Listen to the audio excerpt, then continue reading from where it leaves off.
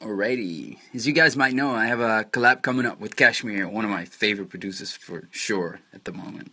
And right now, I'm gonna give you a little peek and tell you a little story about the first demo that I made and then sent over to KSHMR and eventually became the collab.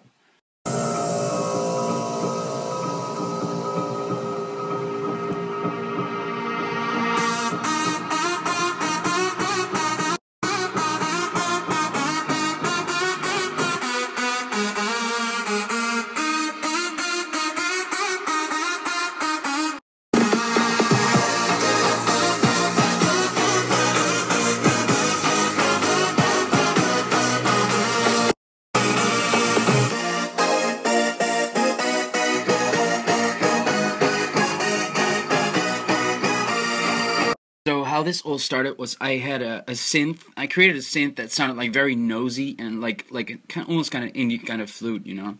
And that's the Spire. Go ahead and make screenshots if you want. all those producers out there. I'm gonna use the phaser. And then I went through some Apple loops, and then I came across this sample.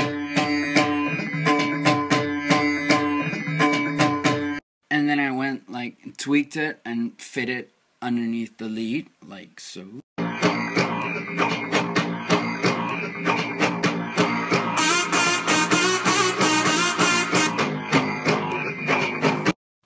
And then I was like, let's add in some rhythm.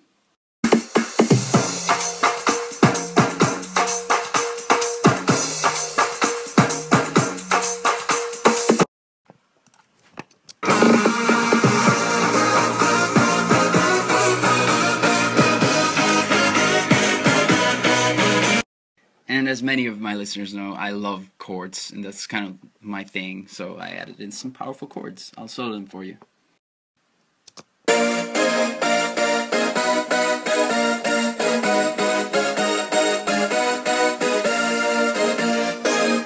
And then I came to a point where I kind of lost it. I didn't know how to drop. I didn't know how to take the next step. I don't know. That's when I sent it to KSHMR and we had actually never spoken before that time but i didn't know but he he knew like all my music and he was excited about working with me just as i was with him. And then the first thing he did when he sent me a version back was uh, add the vocal into the break. And that's really funny because like weeks later i was searching for a sample and i came across a vocal and i was like is that the vocal that he used? But he like melodyned it so much that it was almost unrecognizable. I think i got it. I looked it up. Listen to this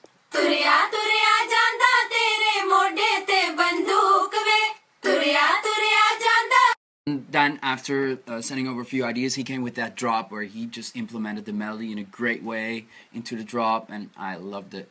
And then at last, I went to see him in his studio in LA. We finished the last bits of the track together. Um, yeah, we had a great time. It was a great experience.